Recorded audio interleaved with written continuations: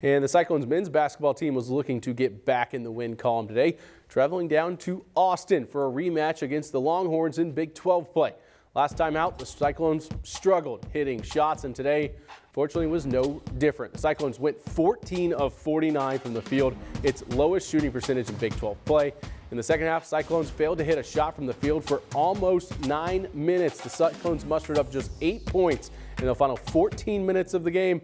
During that drought, Longhorns, they were out, they were, went on a 19-3 run, and they didn't look back. The shooting struggles continue for the Cyclones. They drop another conference game in the 63-41 loss to Texas. It's again the same struggles for the Cyclones. We've got to be the dictating team. We've got to be the aggressor. When we play harder than our opponents, we're successful. Um, felt like we did that for the most part in the first half. In the second half, it got away from us. I feel like it's something that we, it's like we've seen it before. Um, it's just us um, getting the best shots for us on our offense, really.